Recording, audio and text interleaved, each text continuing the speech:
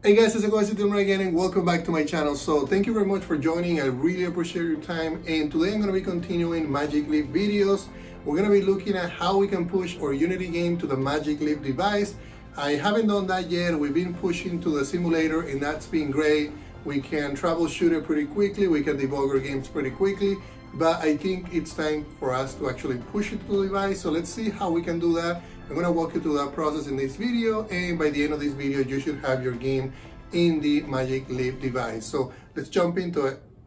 Alright guys, so the first thing that we're gonna need to do is create a certificate. I did this in a previous video, but my certificate was revoked. I actually revoked it to show somebody how to do that through the portal. So in this session, I'm gonna do, I'm gonna create a new one. And the reason why I wanna create a new one, not only because I revoke it, but I think it's really important for people to know that. So if you go to creators.magicleap.com and then go into your dashboard and then certificates, you're gonna be able to see the certificate screen. I'm gonna just click on add new. Then I'm gonna give it a certificate label. I'm just gonna call it initial development, generate. And this is gonna generate an S, uh, a CSR file download the private key, which you just did, and also generate a certificate. Perfect. This one is the old one, which I, I can now probably remove. I'm just gonna open the private key and extract the private key. And the other thing that I'm gonna do is I'm gonna go into a directory that I'm use I use for my games. So I'm gonna go to Dilmer Games, Magic Leap, Certs. And these were the old ones, so let's just remove those. I'm gonna open up the private key private key folder drop in the private key certificate well actually this is just the private key the certificate is to be the next part then once this is done so if you hit refresh the certificate is probably already generated. So now we just need to download it. And this is what's actually going to download the cert. So now that we have the cert I'm going to drag the cert to that same location. The reason why I picked this location is because this is the location that I'm telling my Unity game to look for. So now if I open Unity and we look at what I, so if we go to player settings, if you don't have this open, just go to file. So file, build settings, and then player settings. And if we go to publishing settings, if this is not expanded already, just expand it. Then it says right here, Magic Leap certificate, and then it tells you to specify the location. So this is the location that we're going to choose. If we, if we hit the, the that, that, that is going to ask you, okay, where do you want to put it? So that's the location that I chose. And I chose the cert. So it's going to look for the private key in that same location. And then everything else should be just as it is.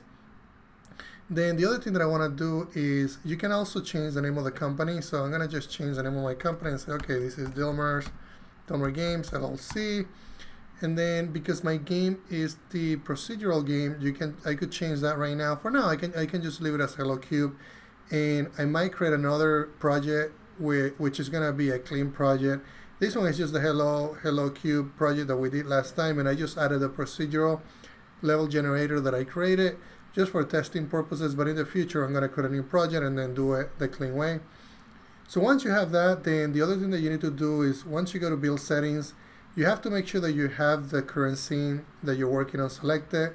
If you don't have these, just click on Add Open Scenes. Then select, of course, select the Lumin OS because that's what we're going to be deploying to. Then select Sign Package because we want to sign the package. If you wanted to attach to the debugger, you could choose that option. I don't need to debug anything right now. And then, like I said on a previous video, make sure that you select the Lumin SDK location. My location happened to be this one and I'm not gonna I'm not gonna select any of the other options but if you want to you know basically do a development build you could do a development build I'm not gonna do that in this session we'll do that in a future video so when that's all done all you have to do is just click on build and run. Then you need to select the location where you want to generate the build. And if you hit save then it's gonna tell you of course I did a I did a build previously to make sure that this was gonna work. And in my case I'm gonna do replace. In your case you shouldn't see this prompt because it's gonna be a brand new build.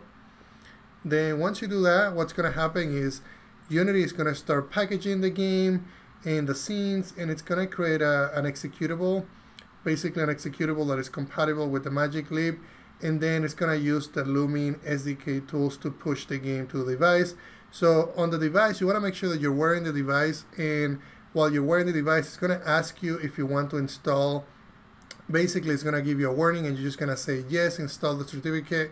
And once you say yes, it's going to do some validation. And if everything works, you should see your new, in my case, my new Hello Cube app showing on the, basically on the main menu. So let's jump into the, basically the augmented reality world and let's see this game running. Alright guys, so let me show you the application that I have running in the Magic Leap. This is, it's called Hello Cube C right now because I I had to try multiple times until I got all the settings correct. But if I press it and open it up, we should be seeing the Unity development build. And looks like it's coming up here. And let's just give it a few seconds. Oh, looks like it's already already open and running. So you can see cubes are on the on the very top. I can also see a big structure and, and this structure is the buildings that I'm going to be generating, and they're actually generated procedurally. There's just some things that are not quite right, like the, the antennas still need some, the materials that I'm using are using the lightweight render pipeline. So, but I'm to have to, I'll have to up, upgrade some of those. But it's really cool because I can, let's see if we can go into the, oh yeah, we can go into the structure and look at the structure that's crazy. And look at everything. It looks like, oops, looks like we're still, we have a little issue here. But let me, think I, I think the room might be too, too dark. Let me just turn one of the lights on. There we go. And awesome. So we can see, we can see almost everything here. Cool. So that's basically what I wanted to show you guys. If you guys have any questions, let me know. I'll be giving you more details and I'll do another video where what I'm going to do is I'm going to map the controller to the events that are going to trigger the building to regenerate so we can see some variations of buildings. So that's everything. Thank you very much.